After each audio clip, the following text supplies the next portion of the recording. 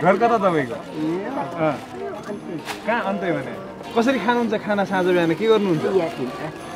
अनि तपाईँ घरमा होला नि कोही मान्छे छैनन् आफन्त? मलाई हेर्दैन। हेर्दैनन्? राम। राम? कोही छैन तपाईँको? उहाँहरूले त अब यहाँ बस्न नदिने भन्नुहुन्छ त। अब सबै मान्छेलाई हटाएपछि आफै हट्छ पेट देखाउ न त्यो घाउ यो किन बनाएको रहेछ यो बच्चाको? चुरोटले पोलेर। तपाईँले माग्नलाई अनि बच्चा यसरी घाउ बनाइदिनुहुन्छ? होइन तिन सय चार सय हुन्छ त चामल किन्नुपर्छ तरकारी सबै। कलैयो बाह्र जिल्ला बाह्रबाट यहाँ कहाँ बस्नुहुन्छ? रुम ल्याएर बस्छु। म तल अनि कति भयो तपाईँ यहाँ बस्न थाल्नु यहाँ त थुप्रै भइसक्यो। कति वर्ष?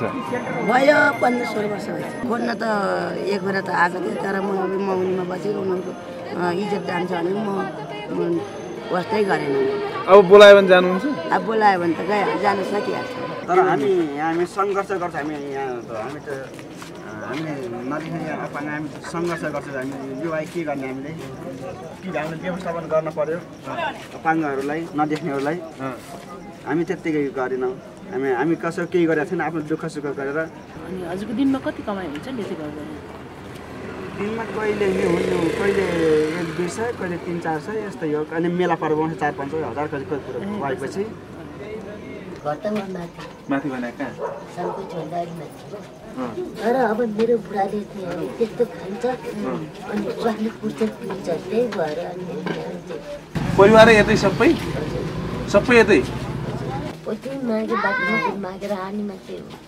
कसरी भन्दा पनि कस्तो भने आफ्नै आँखा अगाडि र आफैले पनि त्यो ठाउँमा परिकल्पना गर्दाखेरि माग्नु बडा कठिन हुन्छ भन्ने एउटा एउटा बाध्यताको जिन्दगी एउटा विवश भएर आफ्नो सर्वस्व गुमाएरै या भनौँ त्यसै त कसैले पनि माग्दैन।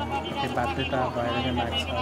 र त्यो विडम्बनाबाट मुक्त गर्न सकियो भने कसैले सम्मानित जीवन जिउन सक्छ कि भन्ने एउटा अभिलाषाले हामीले यो सोच राख्यौँ र यसमा हामीले कार्य आरम्भ गऱ्यौँ र हाम्रो अध्ययनको निष्कर्ष के चाहिँ निस्क्यो भने वास्तवमा विकल्प पाउँदाखेरि कोही पनि मानिन्छ।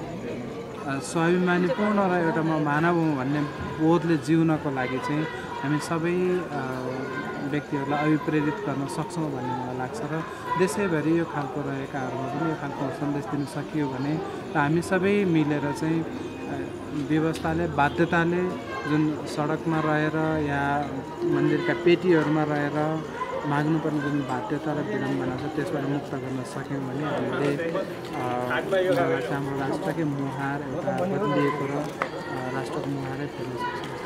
एउटा हिसाबले चाहिँ अन्त कहीँ नभए पनि भगवान्को ठाउँमा गएर चाहिँ म एउटा सहारा लिन्छु शरण लिन्छु भनेर आउने व्यक्तिहरू पुनः एउटा समाजमा स्थापित गर्नको लागि हामीले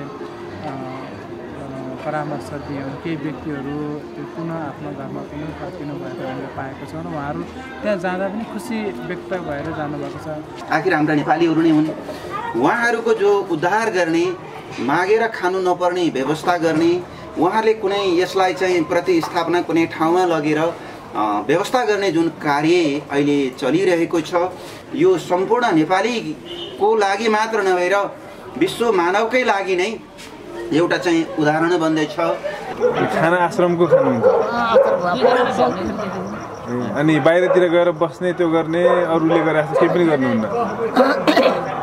कोषले चाहिँ एकदम राम्रोसँगै राखेको छ तपाईँलाई त्यस्तो केही गरेको छैन। भगवान् कृपाले आश्रम राम्रै छ